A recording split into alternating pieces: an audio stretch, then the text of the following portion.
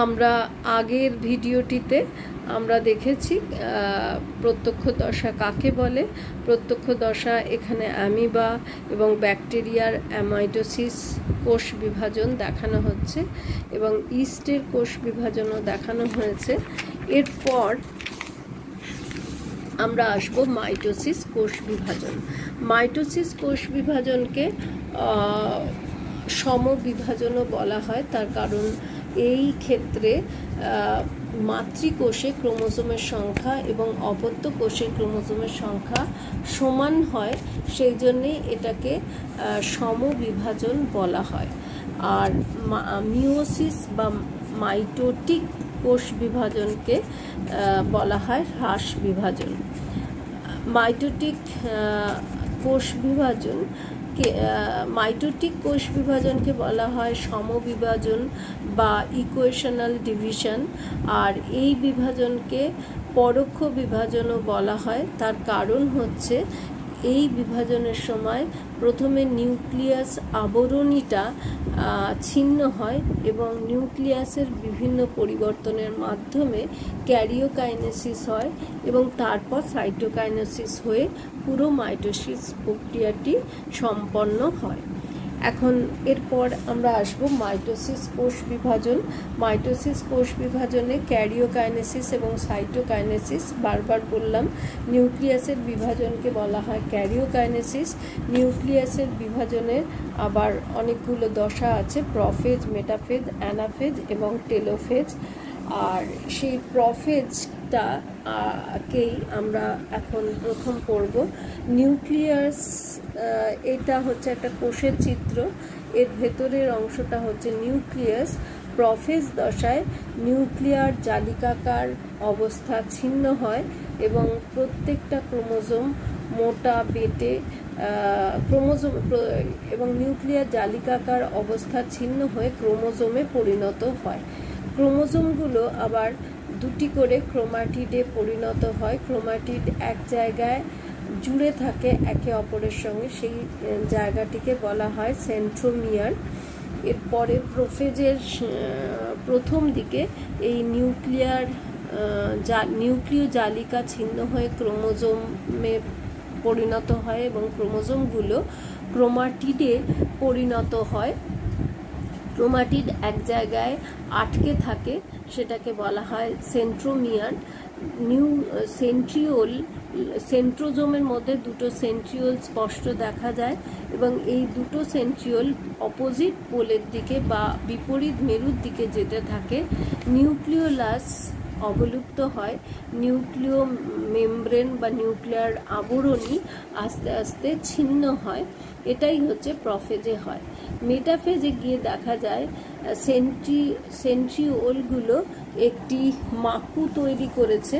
এই যে এখানে দেখো, স্পিন্ডল বা মাকু তৈরি করেছে এবং মাকু তৈরি হয়ে যাওয়ার পরে ক্রোমোজোমগুলো এই মাকু বা স্পিন্ডলের নিরক্ষীয় অঞ্চলে বা ইকুয়েটোরিয়াল প্লেনে নিজেদেরকে সজ্জিত করেছে। এই, এইটা হচ্ছে মেটাফেজ দশা। এই দশায় নিউক্লিয়ার আবরণ তো থাকেই না নিউক্লিওলাসও থাকে না। একটা স্পিন্ডল ফর্মেশন কমপ্লিট হয় এবং এই স্পিন্ডলের বিষুব অঞ্চলে ক্রোমোজোমগুলো নিজেদেরকে সাজিয়ে নেয়। অ্যানাফেজ দশায় প্রতিটি ক্রোমোজোম দুটো করে ক্রোমাটিডে ভেঙে যায় এবং একটা ক্রোমোজোমের দুটো ক্রোমাটিড পোলের দিকে বা মেরুর দিকে যেতে আরম্ভ করে।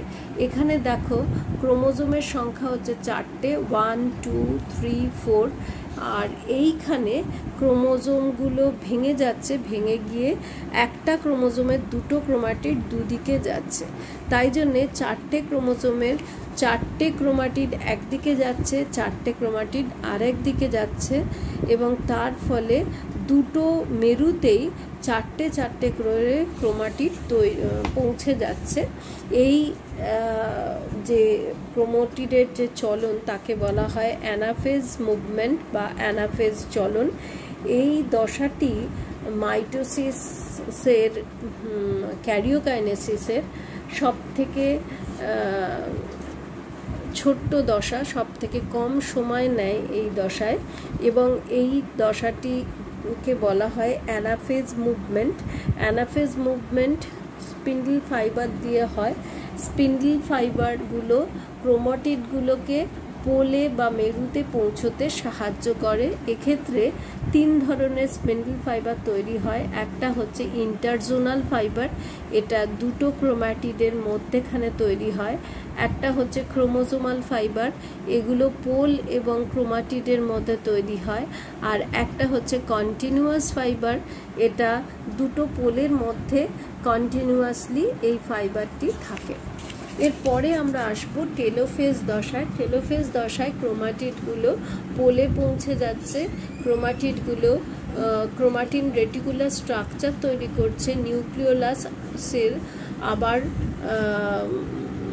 আমরা দেখতে পাচ্ছি নিউক্লিওলাস তৈরি হয়েছে, নিউক্লিয়ার মেমব্রেন তৈরি হয়েছে এবং টেলোফেজ দশাটিকে বলা যেতে পারে প্রফেজের একেবারে বিপরীত দশা।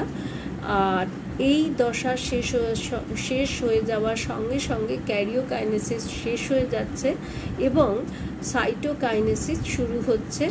উদ্ভিদ কোষে সাইটোকাইনেসিস হওয়ার জন্য প্রথমে একটা ফাড়ো বা ভাঁজ দেখা যায় এবং পরবর্তীকালে এই ভাঁজটা একে অপরের সঙ্গে মিলে সাইটোকাইনেসিস হয়।